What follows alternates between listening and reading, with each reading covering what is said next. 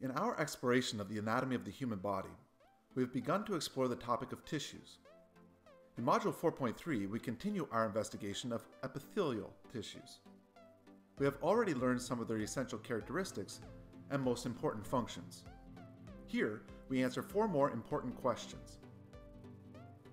First, what is the relationship between the structure of epithelia and their classification? Second, what are the functions of these distinct classes of epithelial tissues?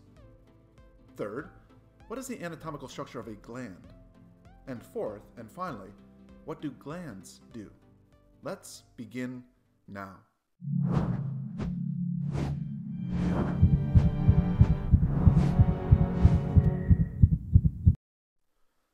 First, let's begin with the classification of epithelial tissues. Epithelial tissues are typically classified based on their anatomical features. Epithelia can be found as a single layer of cells or as a multi-layered tissue. Those epithelia that are only one cell layer thick are classified as simple. Those epithelia that are two or more layers thick are stratified or compound. We will use the term stratified for classifying multi-layered epithelia going forward. Epithelial cells come in three basic shapes. They can be thin and flat. We call these squamous. They can be box-shaped. We call these cuboidal. And they can be longer, cylindrical, or rectangular. We call these columnar. The classification of an epithelium, therefore, is a two-name system. The first name is based on the number of layers of cells, and the second name is linked to the shape of the cells. Thus, the name of a simple epithelium is called simple, plus the name of the shape of the cells that make up the epithelium. We have then simple squamous epithelia, simple cuboidal epithelia, and simple columnar epithelia. The naming system remains the same for a multi-layered or stratified epithelium. We use the term stratified along with a name linked to the shape of cells. In stratified epithelia, it is the shape of the superficial layer of cells that is used here. Thus, a stratified epithelium with squamous shaped cells at the surface would be a stratified squamous epithelium. In many stratified epithelia, we actually may find cells of varying shapes in the different layers. For example, the epidermis of our skin has cuboidal cells in the deep layers, but the most superficial layers are squamous in shape. The classification remains the same nonetheless. It is the shape of the superficial layer of cells that is used here. Thus, we call the epidermis a stratified squamous epithelium. Beyond these, we have stratified cuboidal and stratified columnar epithelia. There are also several classes of epithelia that are uniquely structured. We will revisit these when we discuss the functions of epithelial tissues. All epithelial tissues sit on a basement membrane. They are connected to it by the cells of their deepest layer. Thus, in simple epithelia, all of the epithelial cells are in direct contact with the basement membrane. Simple epithelia are thin. We will discuss their distinct functions shortly, but it should be clear that they are fairly fragile and cannot provide much in terms of mechanical or physical protection. Therefore, we find simple epithelia in protected areas inside the body, in which they will not encounter much exposure to physical or mechanical stresses. They line internal compartments and passageways, including the pleural, pericardial, and peritoneal cavities, the heart chambers, and the blood vessels. Because they are thin, simple epithelia are excellent at absorbing and secreting. We find simple epithelia, for example, in the lining of the intestines and at the gas exchange surfaces of the lungs. In these places, thinness is an advantage. While simple epithelia do provide a barrier to keep distinct environments separated from one another, their thinness reduces the restriction for materials to cross that barrier. Only the deepest cells of a stratified epithelium connect to the basement membrane. A stratified epithelium provides greater protection due to its thickness. Stratified epithelia are usually found in areas that are commonly exposed to mechanical or chemical stresses. Examples include the surfaces of the skin and the lining of the mouth and pharynx. One of the key principles in the field of anatomy and physiology is the principle of complementarity. The principle of complementarity states function is dependent on structure, and that the form of a structure relates to its function. Let's list key functions of each class of epithelia, and reflect on how their functions are related to their structures. We will also cite examples of where these tissues can be found in the body. First, the functions of simple epithelia. Simple squamous epithelia reduce friction, control vessel permeability, and allow for absorption. We find these lining internal compartments. Simple cuboidal epithelia are specialists in secretion and absorption. We find these in ducts and secretory portions of small glands, kidney tubules, thyroid follicles. Simple columnar epithelia are also experts at absorption, and they secrete mucus and or enzymes depending on the cell type.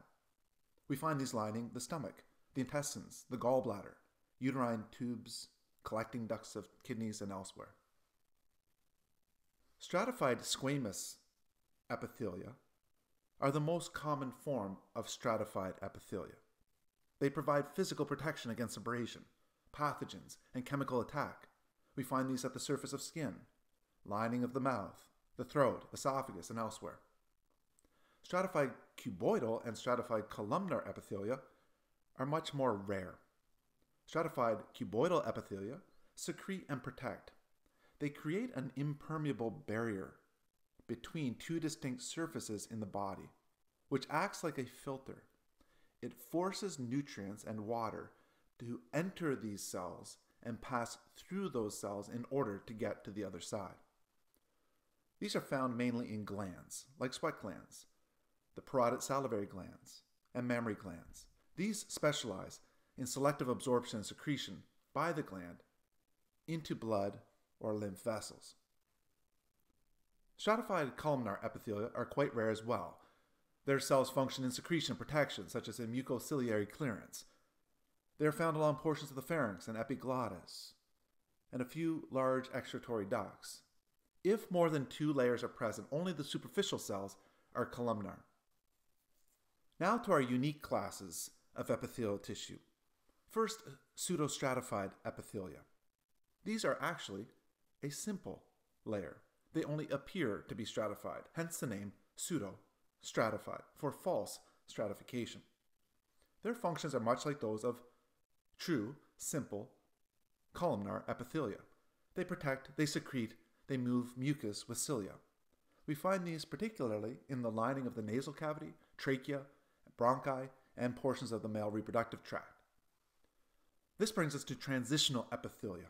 Transitional epithelia are truly a squamous stratified epithelia. The superficial cells appear to be round when no pressure is applied to them, but flatten out and reveal their true squamous shape when pressure is applied.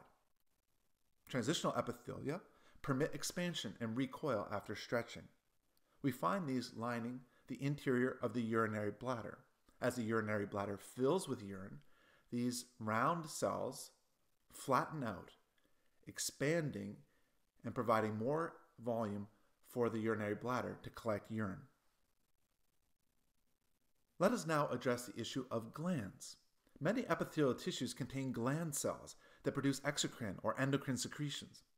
We will focus our attention on exocrine glands here as we will discuss endocrine glands in great detail in Module 10 on the endocrine system. To briefly compare and contrast endocrine glands and exocrine glands, here are some of the similarities and differences. During development, epithelial tissues invaginate into deeper supporting connective tissue. Over time, the connection to endocrine gland is lost.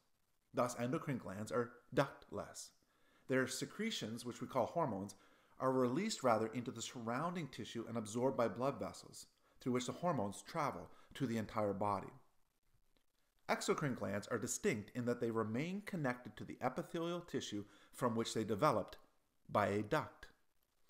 Exocrine glands discharge their products through their ducts onto the epithelial surface that developed them. We can classify exocrine glands in a number of ways. Some of those classifications are based on anatomical structure, so we'll consider them here now. Based on their structure, exocrine glands can be categorized as unicellular glands called mucus or goblet cells, or as multicellular glands.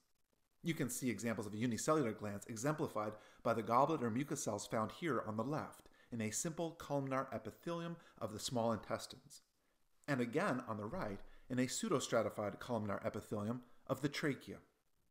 The simplest multicellular exocrine gland is a secretory sheet, such as the epithelium of mucin secreting cells that lines the stomach and protects it from its own acids and enzymes. Multicellular glands are further classified according to the branching pattern of the duct and the shape and branching pattern of the secretory portion of the gland. Briefly, three characteristics are useful in describing the structure of multicellular exocrine glands. One is the structure of the duct. A gland is simple if it has a single duct that does not divide on its way to the gland cells. The gland is compound if the duct divides one or more times on its way to the gland cells. 2. The shape of the secretory portion of the gland. Glands whose glandular cells form tubes are tubular. The tubes may be straight or they may be coiled. Those that form blind pockets or pouches are alveolar or acinar. Glands whose secretory cells form both tubes and pockets are tubulo-alveolar and or tubulo-acinar. 3. The relationship between the ducts and the glandular areas. A gland is branched if several secretory areas, tubular or acinar, share a duct. Branched refers to the glandular areas, not the duct itself. Additionally, exocrine glands can be classified according to their mode of secretion and according to their type of secretion. So, let's conclude with a brief discussion on the function of exocrine glands. First, let's discuss the different modes or mechanisms by which exocrine glandular cells secrete their products. When an exocrine gland cell produces a secretion, it releases it into the extracellular world via one of three mechanisms. The mode of secretion is specific to each gland cell type. First, merocrine secretion. Merocrine glands produce their secretions in the Golgi apparatus and secrete their products by vesicles. For example, sweat glands use merocrine secretion. Merocrine secretion is the most common mode of secretion. Mucin is a protein that is secreted via merocrine secretion. Mucin protein mixes with water to form mucus. Mucus acts as a lubricant and or a protective barrier and a trap for foreign particles and microorganisms. Merocrine secretion, the product is released from secretory vesicles at the apical surface of the gland cell by exocytosis. 2 apocrine secretion. Again, with apocrine secretion, the secretion is produced in the Golgi apparatus. However, it is released by shedding of the cytoplasm. The apex of the cell, or the apical portion of the cytoplasm, becomes packed with secretory vesicles and is then shed. This happens, for example, in mammary glands. In mammary glands, we find both a combination of merocrine and apocrine secretions. Apocrine secretion therefore involves the loss of apical cytoplasm. Inclusions, secretory vesicles, and other cytoplasmic components are shed in the process. The gland cell then grows and repairs itself before it releases additional secretions. In holocrine secretion, the secretion is actually released by the bursting or rupturing of the cell. The entire cell becomes packed with secretory vesicles and then bursts. This happens, for example, in sebaceous glands, which are associated with hair follicles. They produce an oily hair coating by means of holocrine secretion. Holocrine secretion occurs as a superficial gland cell ruptures. Continued secretion involves, therefore, the replacement of these cells through the mitotic division of underlying stem cells. Lastly, in our discussion of the function of glands, we see there are many kinds of exocrine secretions, all performing a variety of functions. Examples include secretions that act as enzymes that enter the digestive tract, perspiration on the skin to cool the body, and milk produced by mammary glands. Based on the type or types of secretions produced, exocrine glands can also be categorized as serous, mucus, or mixed glands. And these secretions can have a variety of functions. Serous glands secrete a watery solution containing enzymes. Glands such as the parotid salivary gland and the lacrimal glands, which produce tears, secrete serous fluids. Mucus glands secrete mucin, that form a thick, slippery mucus. Some of our salivary glands, such as the sublingual gland, produce mucus secretions. Other mucus glands include those that rest just beneath the mucosa lining our digestive tract. Mixed glands contain more than one type of gland cell. They may produce two different exocrine secretions, one serous and the other mucus. An example of a gland that produces both serous and mucus secretions is the submandibular salivary gland. In summary, epithelial tissues clearly display the principle of complementarity of structure and function. From the delicate, simple squamous tissues that line the respiratory exchange surfaces of our lungs, to the durable skin of the epidermis of thick skin. Furthermore, some epithelia specialize not only in protection and exchange of materials, but production and secretion of chemically rich fluids as seen in glandular epithelia. Join us as we continue our exploration of the tissues of the human body in our next study of connective tissues.